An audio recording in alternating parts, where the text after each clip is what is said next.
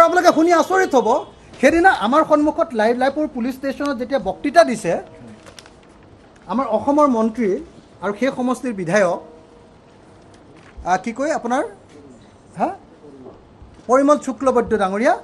পৰিমল শুক্লবৈদ্য ডাঙৰীয়াই কৈছে যে মিজোৰামে আমাৰ বিৰুদ্ধে খং উঠাৰ কাৰণ হ'ল আমি গো সুৰক্ষা বিলখন অনাৰ কাৰণে তেওঁলোকৰ খং উঠিছে কাৰণ তেওঁলোক খ্ৰীষ্টান মানুহ তেওঁলোকে গৰু তেওঁলোকৰ তালৈ নাহিব বুলি ভাবি তেওঁলোকে আমাৰ ওপৰত খৰ্গগ্ৰস্ত হৈ এই ঘটনা সংঘটিত কৰিছে।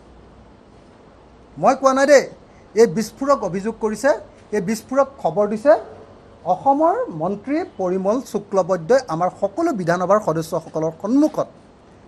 সন্মুখত আই জি পি অনুৰাগ আগৰৱালাও বহি আছে। সেই বাতৰি ক'তো ওলোৱা দেখাও নাই।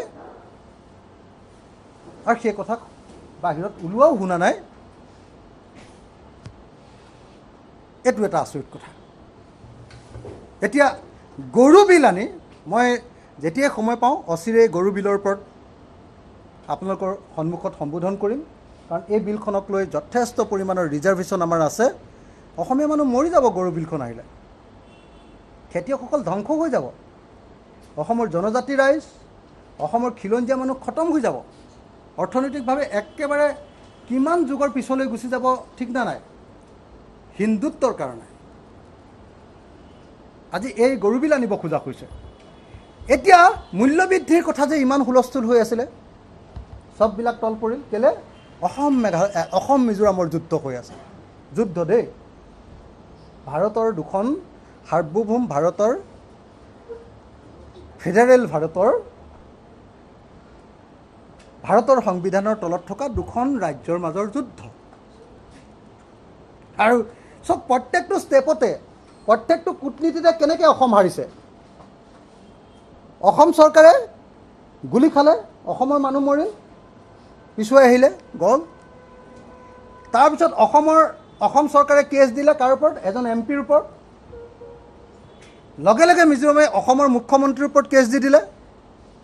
অসমৰ মুখ্যমন্ত্ৰীৰ ওপৰত যেতিয়া কেছ দি দিলে দুইটাৰ মাজত বুজাবুজি হ'ল। এই দুইটা কেছৰ মাজত বুজাবুজি হ'ল যে আমি মুখ্যমন্ত্ৰীৰ ওপৰত কেছটো উঠাই ল'লোঁ তোমালোকে এম পিৰ ওপৰত কেছটো উঠাই লোৱা। আজিৰ দিনটোততো মিজোৰামৰ এম পিজনৰ ওপৰত কেছ উঠাই ল'লে। ষ্ট্ৰেটেজি চাওক আপুনি। প্ৰত্যেকটো ক্ষেত্ৰত আমি কেনেকৈ হাৰিছোঁ? তাৰ পাছত কৈ থাকে যে এজন দক্ষ মুখ্যমন্ত্ৰী আমাক শাসন কৰি আছে।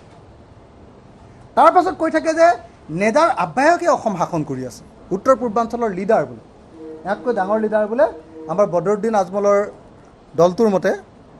কি নাম আছিলে? চিৰাজুদ্দিন আজমল। মানে এ আই ডি এফৰ মতে মানে ভাৰতৰ আটাইতকৈ শ্ৰেষ্ঠ মুখ্যমন্ত্ৰীজনে বোলে শাসন কৰি আছে। এতিয়া কাক কওঁ? কাকনো বুলিবি ককা? সকলোৰে দাড়ি চুলি পকা। বিৰোধীকো একো ক'বই নোৱাৰি। বিৰোধীও এতিয়া মুখ্যমন্ত্ৰীৰ ভূমিকাত এনেকুৱা মানে গদগদ। ইমান ভাল মুখ্যমন্ত্ৰী। মানে মুখ্যমন্ত্ৰী গাঁৱৰ ওচৰত থাকিলে মানে আমাৰ পাপ যিমানবিলাক আছে নাইকিয়াই হৈ যায় মানে এনেকুৱা মুখ্যমন্ত্ৰী আহি গ'ল। কাকনো কওঁ এতিয়া কথাবিলাক। তো এনেকুৱা পৰিস্থিতিত আজি চাওক ড্ৰাগছৰ প্ৰশ্নটো এতিয়া নাইকিয়া হৈ গ'ল। ড্ৰাগছৰ বিৰুদ্ধেতো আমাৰ এখন জাতীয় যুদ্ধ চলি আছিলে ন? অসম মেঘালয়ৰ যুদ্ধ হ'ল ড্ৰাগছ নাই। চিণ্ডিকেটৰ বিৰুদ্ধে আমাৰ প্ৰশ্ন চলি আছিলে এইবিলাক নাই।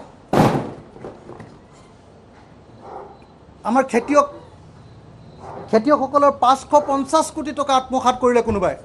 পাঁচশ পঞ্চাছ কোটি টকা প্ৰধানমন্ত্ৰী কৃষক সন্মান যোজনাৰ ধন খাই পেলালে। এইবোৰ ইছ্যুৱে নহয় এতিয়া। গতিকে মই আপোনালোকক বেছি দীঘলীয়া নকৰোঁ। এই অসম মিজোৰামৰ ঘটনাটোৱে অসম মিজোৰামৰ সংঘাতৰ ঘটনাটোৱে অসমক সাংঘাতিক লোকচান কৰিলে। অসমৰ ইছ্যু ডাইভাৰ্ট হৈ গুচি গ'ল। অসমীয়া মানুহৰ আশা আকাংক্ষা বহু পৰিমাণে লোকচান হ'ল। অসমৰ মাটি গ'ল। মুঠতে চাৰিওফালে লোকচান। কেৱল পলিটিক্স হৈছে আৰু হিন্দুত্ববাদীহঁতৰ পলিটিক্স হৈছে তাৰ বাহিৰে আন একো নাই।